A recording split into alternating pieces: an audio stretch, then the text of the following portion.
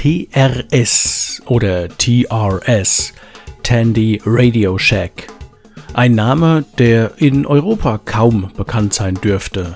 Ein Name aber, den man nicht vergessen darf, war doch der TRS 80 der dritte im Bunde, als es um die ersten kommerziell erfolgreichen Homecomputer-Komplettsysteme ging. So stand der TRS 80 damals im Wettbewerb zu Commodores PET 2001 und dem Apple II. Und, vor allem in den USA, schlug er sich nicht schlecht. Dies lag mitunter an dem Geschäftsmodell, denn Radio Shack war, bis zur Insolvenz im Jahr 2015 eine Vertriebskette für Elektronikprodukte. Die Verkaufsregale mussten also nicht erst erobert werden, nein, für den TRS 80 standen sie bereits bereit.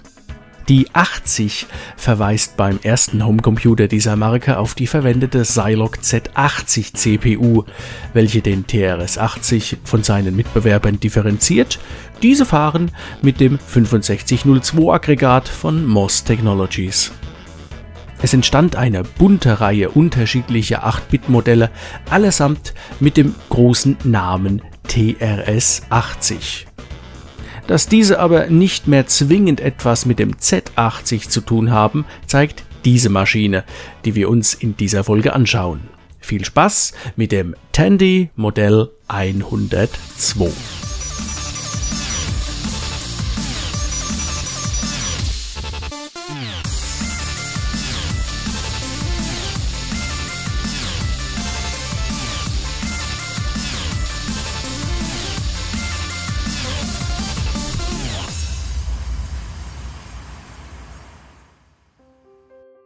Ich muss ja zugeben, das Ding hier war ein Verlegenheitskauf. Ich wollte eben unbedingt einen Tandy im Regal haben und als die Gelegenheit günstig war, habe ich eben zugegriffen.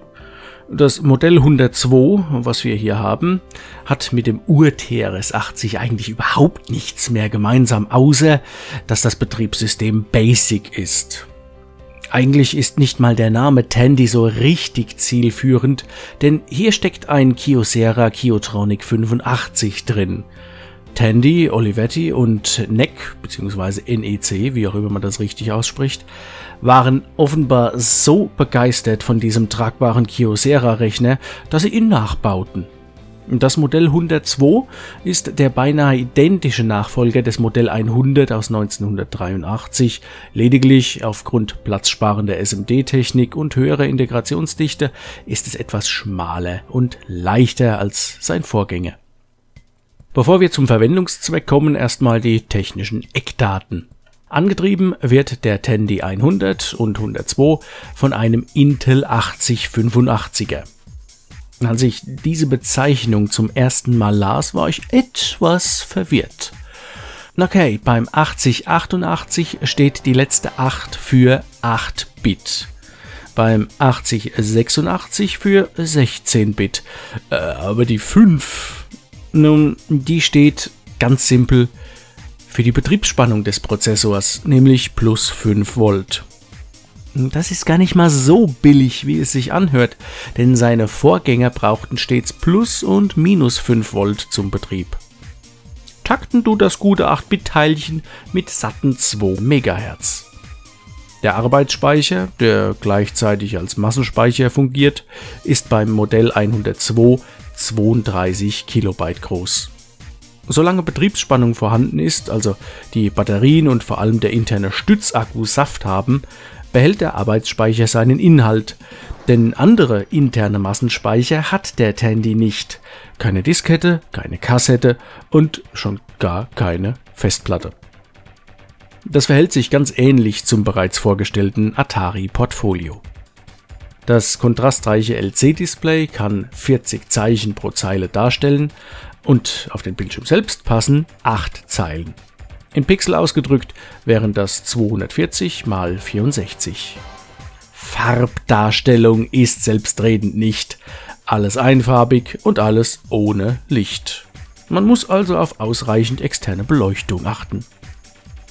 Die Tastatur ist, mit einem Wort, gut. Da hat es gerade bei den tragbaren Geräten dieser Tage ganz fürchterliche Entgleisungen gegeben, aber Tandy hat hier definitiv alles richtig gemacht. Lediglich die Bedienung der Cursor-Tasten ist etwas gewöhnungsbedürftig. 300 x 215 x 45 mm bei etwa 1,4 Kilogramm, das sind die Maße des Tandy 102. Mit Batterien wohlgemerkt. Der braucht die Maschine vier Stück, ganz normale 1,5 Volt AA-Batterien. Die halten dann aber auch ewig.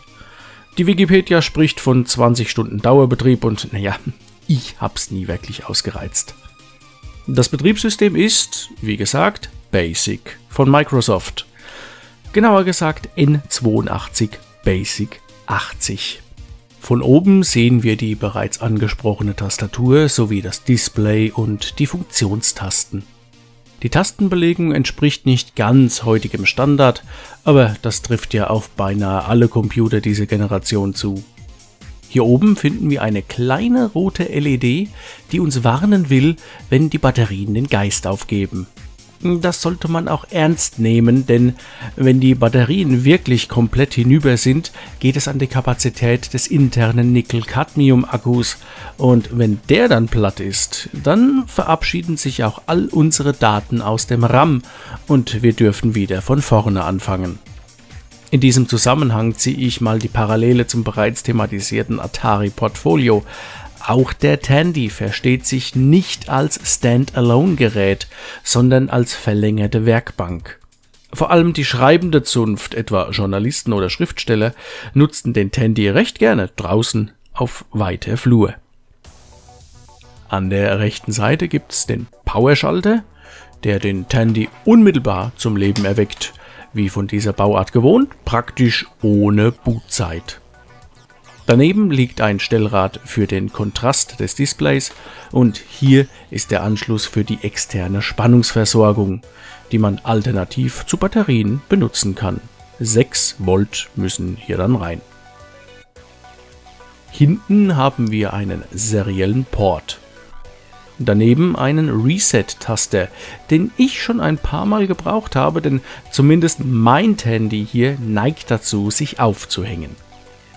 Hier kommt der Systembus für externe Erweiterungen und hier ein Printeranschluss, der leider nicht in der gewohnten 25-poligen D-Subform auftritt. Vielleicht ist das Absicht, denn Tandy Radio Shack hatte seine eigenen Parallelprinter mit eben diesem Anschluss. Centronics kompatibel sind sie, nur das Pinning passt eben nicht und möglicherweise setzten sie ja darauf, dass man eben nur ihre Produkte nutzen sollte.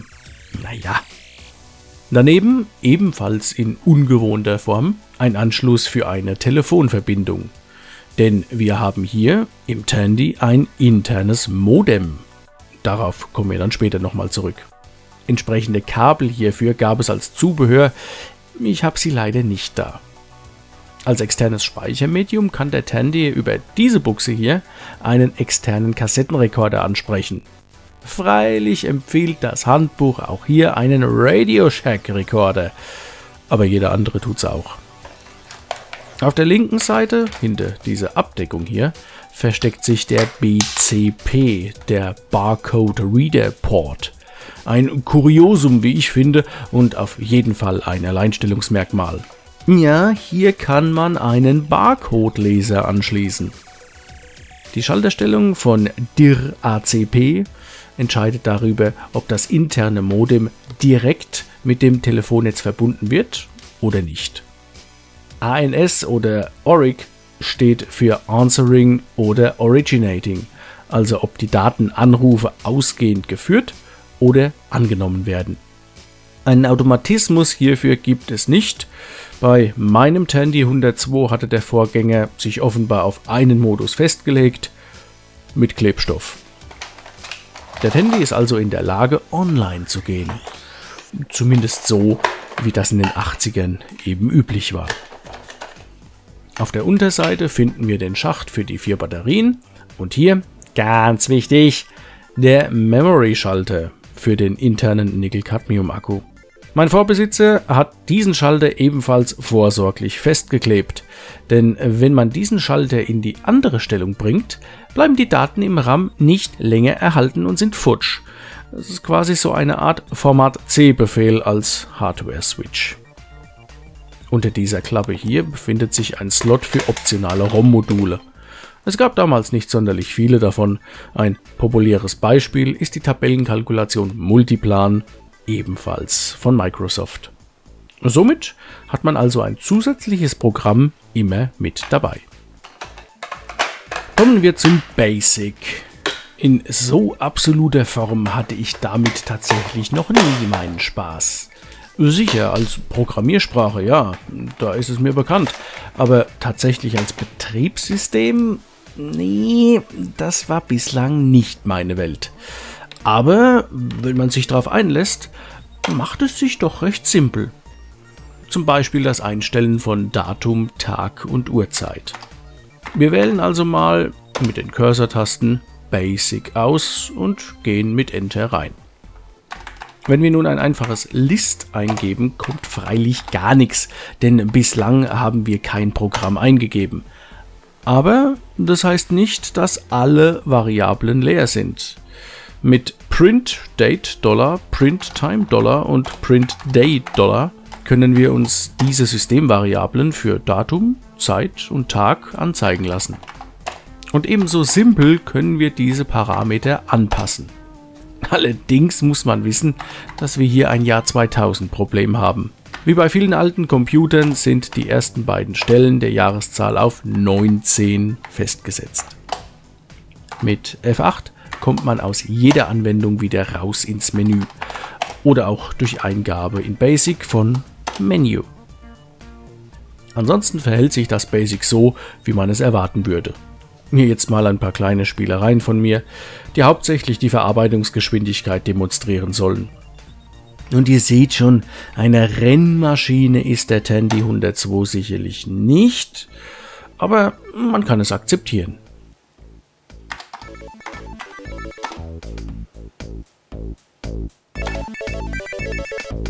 We'll be right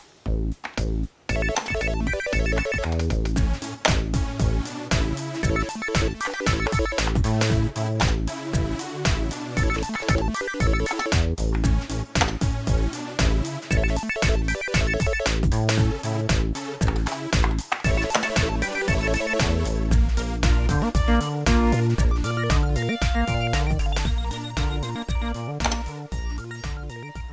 Immerhin, das Ding hat einen internen Speaker, den man wunderbar quälen kann.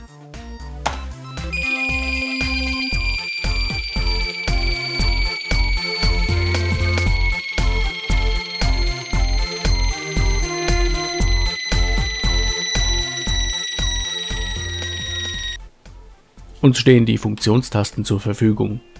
Diese können wir uns jederzeit mit Tastendruck auf Label anzeigen lassen oder ausblenden, um mehr Platz auf dem Display zu haben. Das war's auch jetzt schon wieder für Basic. Jedoch ist es ja, wie gesagt, das OS des Tandy 102. Deswegen haben wir auch in jeder Lebenslage die Möglichkeit, mit der aus Basic bestens bekannten Tastenkombination Shift und Break einen laufenden Prozess zu unterbrechen. Naja, und äh, wenn dann überhaupt nichts mehr geht, gibt's hier immer noch die rückseitige Reset-Taste.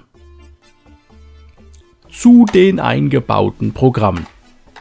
Unter Text verbirgt sich, oh Wunder, ein rudimentärer Texteditor. Von einem Textverarbeitungsprogramm möchte ich hier nicht sprechen, denn wirklich verarbeiten kann man damit eigentlich nichts. Es ist mehr ein elektronischer Notizblock. Auch hier können wir uns über Tastendruck auf Label die Belegung der Funktionstasten anzeigen lassen. Dokumente, die mit Text erstellt werden, erhalten beim Speichern automatisch die Dateiendung .do wie Document. Basic-Programme hingegen enden mit .ba wie Basic. Schedule. Dies ist ein einfacher Kalender ein wirklich sehr einfacher Kalender oder besser gesagt, es ist lediglich die Kalenderfunktion, mit der man Kalendereintrage filtern und anzeigen lassen kann. Neue Kalendereinträge kann man nämlich nicht hier erstellen, sondern muss dafür die Datei note.do mit dem Textprogramm editieren. Hier kann man völlig unformatiert Termininformationen reinschreiben. Es gibt keinerlei Konventionen, was Datums- oder Zeitformat anbelangt, noch was zusätzliche Kriterien angeht. Das muss man sich alles selbst überlegen. Ein Datensatz geht immer bis zum Ende von Return, immerhin das sollte man sich merken. Im Beispiel habe ich ein paar Termine angelegt. Dies ist der Inhalt der Note.do-Datei. Jetzt gehe ich in Schedule mit der Funktion Find suchen wir jetzt nach diversen Kriterien und es werden uns die Zeilen angezeigt, welche diese Kriterien enthalten. Wie gesagt, das ist wirklich ein mega simples Programm. Address. Beinahe baugleich mit Schedule. Auch hier muss man zunächst eine Datei anlegen, in dem alle Adressinformationen stehen. Diese Datei muss adrs.do heißen. Unterschied Telefonnummern. Setzen wir diese in Doppelpunkte davor und danach, so kann das Programm Telcom diese Nummern aus dem Datensatz herausfiltern und verwenden. Und so kommen wir schon zu Telcom. Damit das Ganze tatsächlich funktionieren könnte, müsste man natürlich die komplette Telefonverkabelung aufbauen, welche ich leider nicht habe. Daher eben nur Theorie. Auch in Telcom können wir Adressbucheinträge finden. So suchen wir nun nach einem Namen und, da wir dessen Telefonnummer korrekt mit Doppelpunkten gekennzeichnet haben, erscheint diese nun im Display. Nun bauen wir per Call die Verbindung auf, also in unserem Beispiel hier lassen wir eben mal den internen Impulswähler rattern. Das ist doch ganz witzig. Unbestätigten Quellen zufolge kam ein Tandy 100 wegen eben dieser Wahlfähigkeit damals beim berüchtigten BTX-Hack des Chaos Computer Clubs zum Einsatz. Heutzutage muss man aber erstmal einen Anschluss finden, der das Impulswahlverfahren überhaupt noch akzeptiert. Umstellen auf Mehrfrequenzwahlverfahren kann man am Tandy nämlich leider nicht. Das hier ist ein Foto aus der Wikipedia. Ich selbst habe meinen 102 noch nie aufgeschraubt, aber beim Betrachten dieses Fotos sticht mir vor allem eins ins Auge. Die Akkutonne.